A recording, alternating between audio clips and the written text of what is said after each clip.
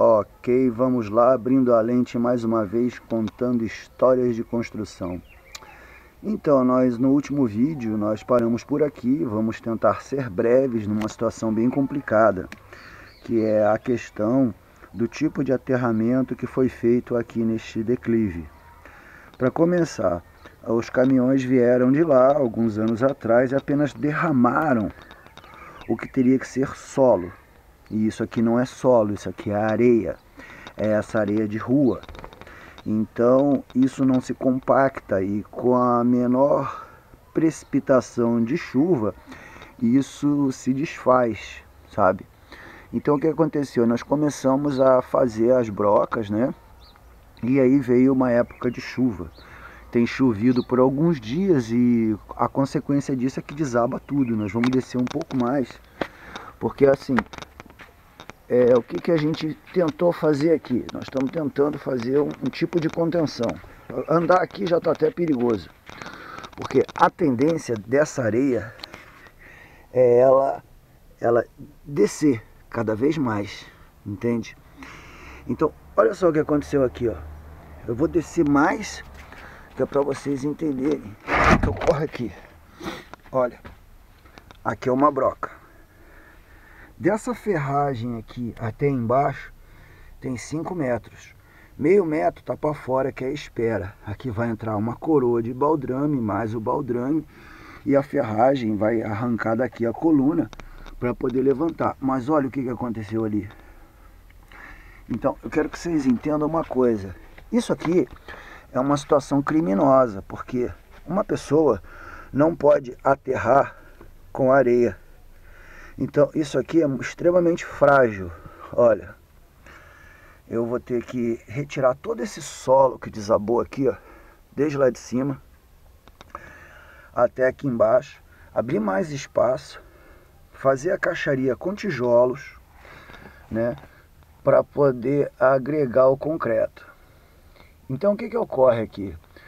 Ocorre que isso aqui é um problema enorme e para resolver é o maior pepino. Entendeu? Você pode ver pela coloração do solo que isto é pura areia. E a areia, ela não serve, ela não presta para aterro. Infelizmente, né, o, o dono desse terreno, ele está com um problema enorme nessa questão. Né? Nós temos que bolar como fazer uma contenção adequada para que essa areia não desça cada vez mais. E não está fácil, porque a previsão ainda é de mais chuva. Ali nessa parte que você está vendo, nós abrimos que é para poder fazer uma coisa que chama-se sapata corrida. É lógico que só a sapata corrida por si só, em cima desta areia, ela não se sustenta.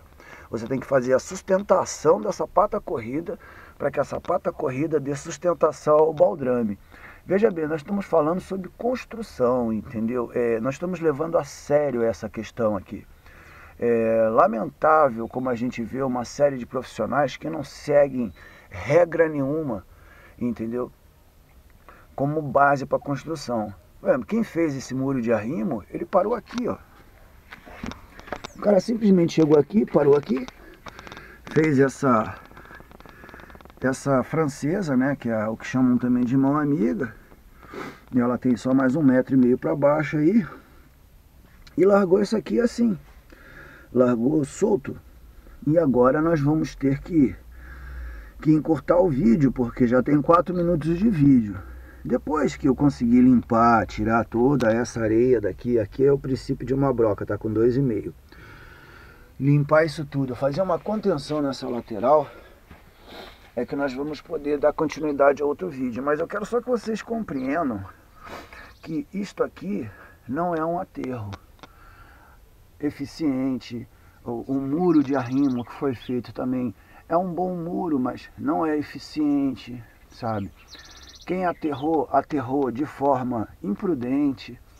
É, Para fazer qualquer tipo de edificação aqui atrás, vai ter que ter um, um bom projeto de alicerce. Porque, infelizmente, isso aqui é só areia, isso não é solo. Eu estou com um problema enorme agora para resolver. Porque vai estourar na mão de alguém, né? Quem é o filho mal? O filho mal agora sou eu, né?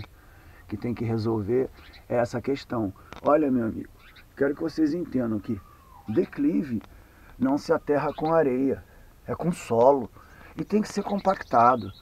O que as pessoas fizeram aqui foi um serviço porco, mal feito, de qualquer jeito. Graças que quem aterrou aqui, ó, que isso aqui é o, é o terreno vizinho, entendeu? Nós estamos na divisa de terreno. Isso aqui deve ter aí para mais de 20, 30 anos de idade. Ao menos essa parte foi bem feita. É o que está me ajudando na sustentação. Agora eu tenho que criar toda uma sustentação ali para que isso não desabe mais. Daqui de onde a gente está até ali em cima, dá quase 2 metros. E a tendência é cair. Vídeo de 5,5. Um grande abraço a todos. Um grande salve a todos desse canal. Obrigado por estarem me acompanhando, por estarem me assistindo. Mas eu estou aqui mostrando para vocês, para que vocês entendam. Quando o terreno é em declive, você não aterra com areia. Nunca, jamais. Você tem que aterrar com solo e compactar isso.